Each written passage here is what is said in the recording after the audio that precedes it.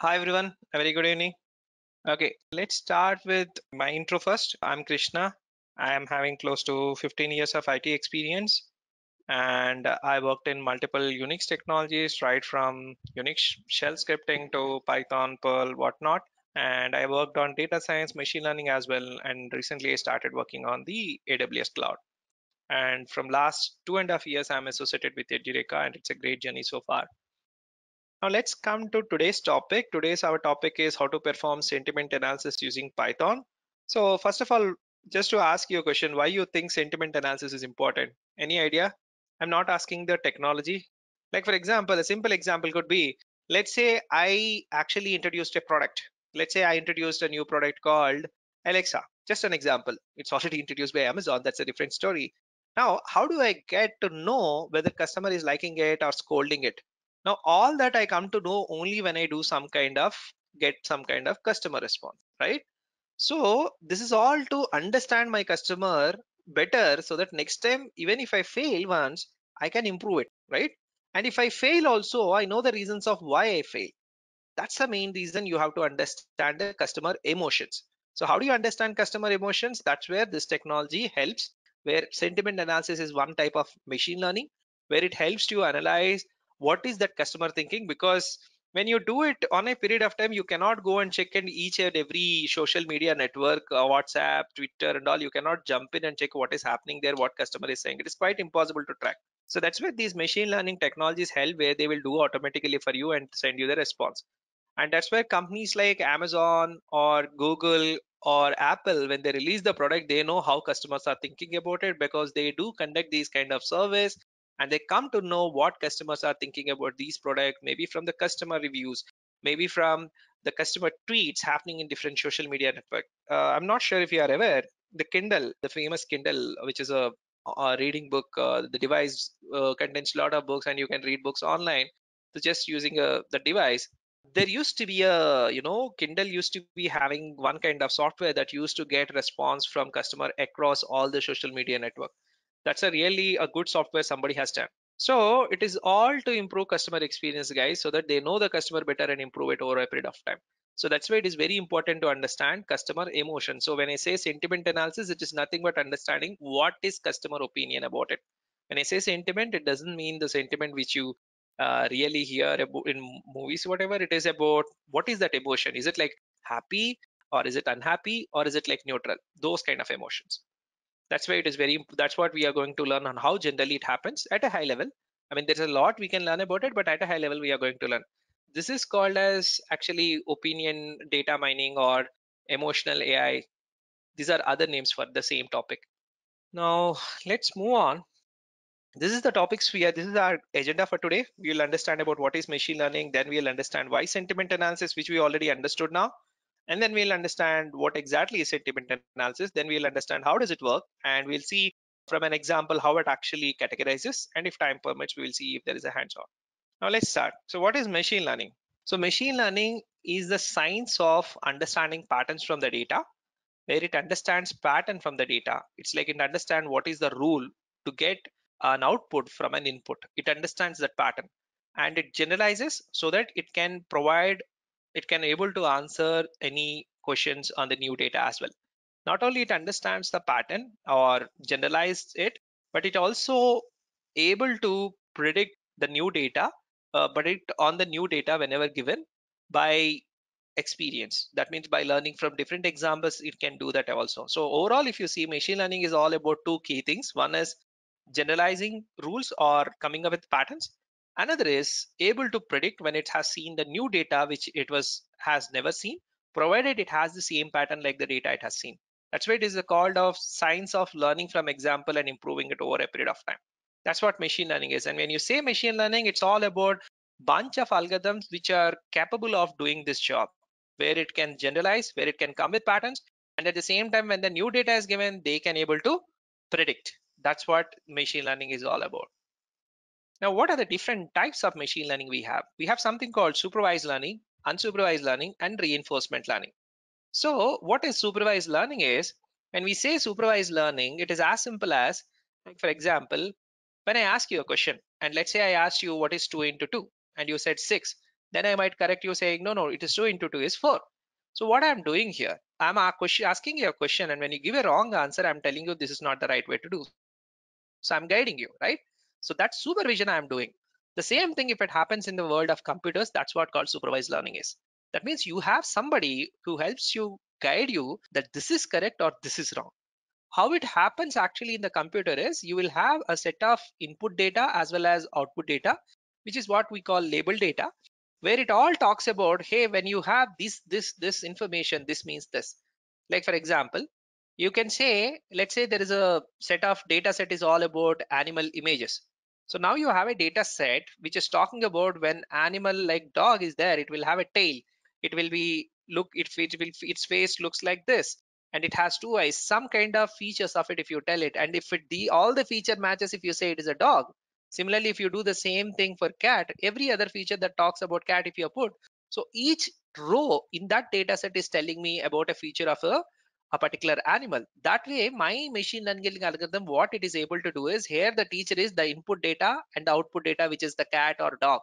So from here, it is able to learn. That's what the supervision there is. Now, when it comes to unsupervised learning, yeah, categories of animals, yeah, classification. Now, when it comes to unsupervised learning, it is like as simple as self-learning. That means without teacher, just like Einstein. Einstein also learned from his mother. That's a different story. But it's like a self-learning. You might have heard some people saying, I learned myself, nobody taught me and all. So that self-learning is unsupervised learning. So what does it mean is you will be given data, but you will not be told what the output is going to be. That means I give you a feature like, okay, the shape of it, uh, this particular animal has a tail, this particular animal has two eyes, four legs, but I will not tell you when all this feature, feature maps, what is the output? Is it a dog or a cat? I will not tell you. It is like just you have the input data. That's all. From there, you have to figure out that is what unsupervised learning you'd have you don't have any guidance about it. Okay. Now it comes to reinforcement learning. In this case you don't have data at all. That means there is no data set. There's no data set concept. Now how do you learn from it? Here the learning happens by experience. There are learning happens in two ways. One is exploration another is exploitation. Exploration so when we say exploration and exploitation it is all about what reinforcement learning does is it learns over a period of time by experience. Let's say you are going by a car and when you hit a path like let's say for example you crossing a road. When you cross a road first time let's say that's the first time you're crossing the road first time you might do some mistakes. But over a period when you keep crossing the same traffic road you will understand how to cross it properly. That means what is happening? Over a period of time your knowledge gets matured and you are in a level to cross the road properly. That's actually called reinforcement learning because you're learning by experiment and then applying it at the same time you might try new different ways to cross the traffic in a faster way. So this is called reinforcement learning. And your sentiment analysis comes with your supervised learning. Okay. Now why sentiment analysis? Like why sentiment analysis? Because as we all answered we want to understand the customer's emotions. Because that's where you understand what is that customer is talking about your product whether it's an application or product what is that customer is talking about that you will come to know? Like your the customer emotion could be happy unhappy or very angry. It could happen in either of this and you see most of these chatbots today also take these responses and they literally mine it. I mean that they literally understand the data from the customers and even sometimes i'm not sure whether you know try to give a bad rating in any app you will immediately get a call you might have tried the same app guys customer care by trying calling them multiple times they might not have responded but give a bad response completely zero. They will immediately give a call. Okay? Like for example i used to see in linkedin where people complain uber never responds or ola never responds even we call them multiple times about cab, cab complaints. Try to give a very very bad response. Very bad response immediately you will get a call. I'm just telling people are not with the intent of you should play these tricks but what i'm trying to call out is people are really worried about customer emotions. Just that we are not hitting the right thread there so that they are worried about what is our problem. That is what we need to do. Now what is sentiment analysis here? So sentiment analysis it's simply about understanding from a text or a, from a written text or image it's understanding about what customer is thinking about whether the reaction the reaction will be three ways. If you try to categorize it is positive negative or neutral. That is what overall we try to understand either from the text data or images like this. Now how does it work? Now here our focus is mainly on textual data. You can do even from images also, but our focus is mainly on the text. Like for example, if I say I'm happy, from that sentence, you should be able to say whether my reaction is positive or I'm scolding somebody or my reaction is neutral. But when I say I'm happy, it means my reaction is positive. So that is what we want to do here. So how it is going to work is you will have some set of positive words and negative words in the database. Obviously, you might have guessed what is the positive words. And what you do is you will rate it, saying whenever user gives plus one, based on the sentence you mark, if you understand the emotion, you will mark it as plus one for good uh, positive review, zero for neutral, and minus one for bad. That is how you categorize. Now let's say this is a sample statement. How does the words actually internally works is they break into tokens. It is called uh, word tokenization. When I say word tokenization, it is nothing but breaking the sentence into multiple separate words. So once you, let's say this is the sentence, the iPhone is awesome. Now you have some set of positive words in your database and you have some set of negative words in your database. From these words, once you split this, tokenize it, that means you will get the iPhone 7 is awesome. Four words you get you will check which are the words which you don't want. There are some stop words also which you will remove. Then you will figure out the right word and you will remove these punctuation symbols also. Then you will check are they in this bucket or in this bucket. Since in this bucket, you will say it is a positive. That's why you are giving plus one. And sometimes your sentence could be like this also. The movie is not great. After the interval, it was boring. Now, when you take it, this not is a negative emotion. It means minus one. And great means it's a positive emotion. It means plus one. And boring means minus one then it means minus 1 plus 1 0 0 minus 1 minus 1 that means it's overall a negative score. That's how we do it. But there are scenarios where it will be really difficult something like this. The service was terrible but the food was great. Now how do you tell it? Now in this case this is called constructive conjunction. What we do is sometimes we break that into two sentences. And we get the scores independently. This type of strategy we apply is called binary sentiment analysis where we take the sentiment of this obviously this sentiment says that it is a negative response and this sentence says that it's a positive response. So based on these two we arrive and we will decide whether to say it's a positive or not. Now how does it help in python for all the sentiment analysis? Obviously we discussed about it. Overall how sentiment analysis works it's not just for python. Any language overall it's a conceptual thing right? Uh, sentiment analysis is not something tied with python. Just that we are doing in python does not mean only python can do you can even do in java also provided you have the required libraries. It's all to understand market strategy so that market understand how to sell some products based on the customer feedback. It is also to understand the return of interest by doing certain marketing campaigns. It is also to improve product quality. Like i said the alexa or kindle they understand customer sentiment and based on that they improve a lot of they fix a lot of bugs and they improve a lot of features. And overall this is what the end goal is. It's all about customer. Okay so I'll sh quickly show you a small hands-on, which I have already prepared. If I run in the class, it will take some time.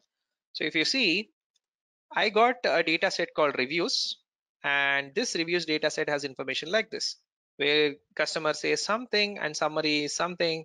And this is where he gives a score five, one, four, two, five, something like that. Now from this, what I do is generally if I want to do this kind of identifying whether it's a positive or negative score, first I will try to do a histogram to see what kind of scores are there. So I can see one, two, three, four, five. So there are a lot of positive scores here. This is what I understand from it. This is just for my understanding. Now, in order to parse this text and understand the customer emotion, I need a library called NLTK, which is called Natural Language Processing Toolkit. Generally, if I understand, if I run in the class, it will take a lot of time. So that's why I just ran it and kept it like that so that I can show you how it works because it downloads a lot of libraries which are required, a lot of sub libraries inside.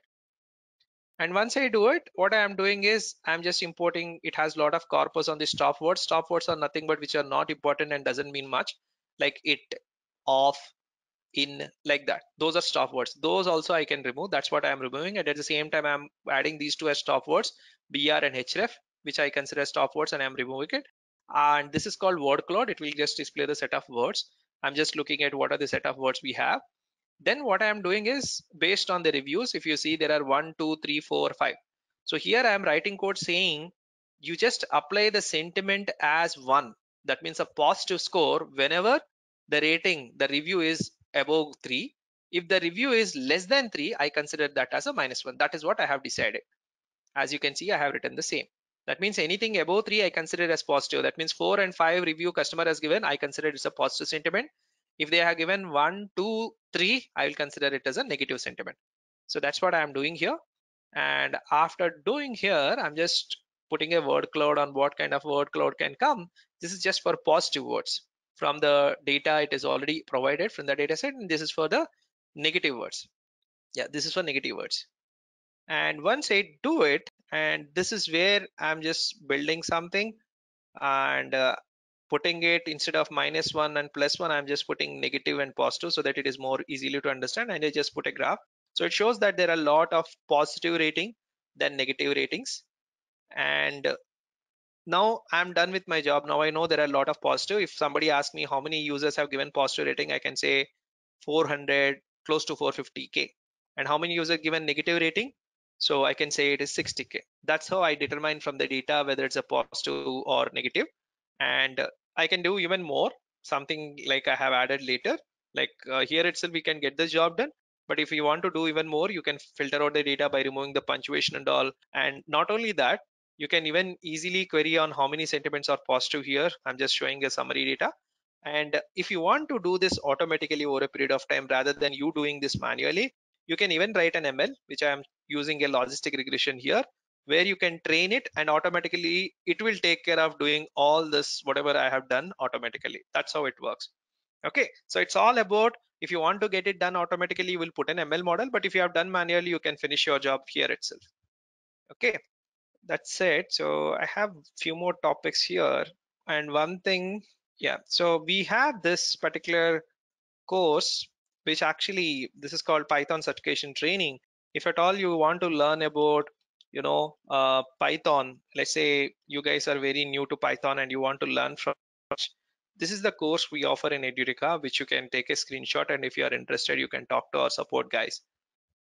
Okay, thank you guys. It's great talking to you. See you all.